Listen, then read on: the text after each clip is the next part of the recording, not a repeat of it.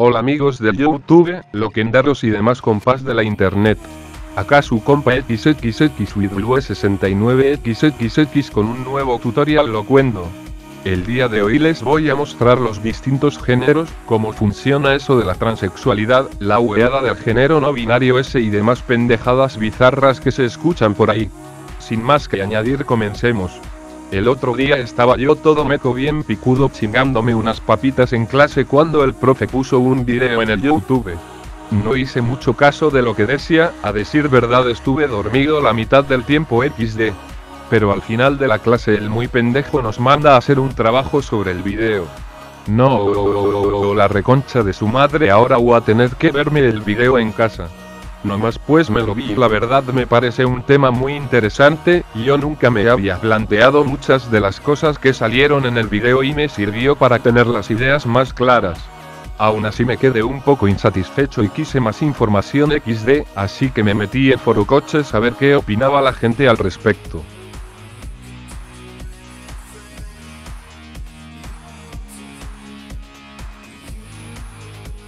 El otro día navegando por el mundón de YouTube, que a estas alturas de siglo está negado de mierda, vi un video curioso el cual defendía la introducción de un pronombre elle para las personas a género, con el cual me eché unas risitas bastante sanas. ¿Qué opináis de esta moda de tener 200.000 géneros? El problema es que hay gente con serios problemas de identidad, como las personas que nacen en el género equivocado, lo cual está diagnosticado por psicólogos pero con gilipolleces como esta, cada vez la gente se lo toma menos en serio. PD. Como bien has dicho, eso lo suelen decir las hembristas que no tienen otra cosa que hacer que dar por culo en las RRSS. PD2. No puedo visualizar el vídeo. Bien por la gente que se siente mejor con eso, pero no debería ser necesario. No se opina. Se eso no se es. Y hay que respetar a todos los seres humanos sean hombres, mujeres, trans o personas que se sienten más a gusto sin género. ¿Y ella de qué género se considere? Porque mucho hablar de que ella no se siente integrada porque no se siente hombre o mujer, pero no cuente qué género es el suyo. Yo solo conozco el mundo de ceros y unos. Hombre y mujer, el resto son delirios de progreso oligocénicos. Qué manía con meterse en cómo tiene que vivir cada uno su vida mientras no haga daño a nadie, joder. Debo ser el único que bastante tiene con ocuparse de sus mierdas para andar mirando si el del lado se ajusta lo que a mí me sale de los cojones que se tiene que ajustar. ¿Te parece poco daño pasarse la biología por el forro de los cojones? ¿Lo escribes desde tu Android o desde tu iPhone? Quizás comiendo trigo modificado genéticamente mediante selección artificial a lo largo de 2000 años, con genes insertados para resistir plagas en el último siglo, conservantes, etcétera, etcétera. Seguramente también estás vivo en este momento gracias a fármacos varios, operaciones que atentan contra la biología más elemental, y toda una sociedad que se la pasa por el forro de los cojones todos los días por no entrar en que lo inusual que es que un ser vivo se valga de una herramienta para publicar en un entorno virtual lo mucho que le ofende lo que haga otro en su puta casa. De todas formas, no tienes ni puta idea de la diferencia entre género y sexo, y todo lo anterior en realidad no viene a cuento.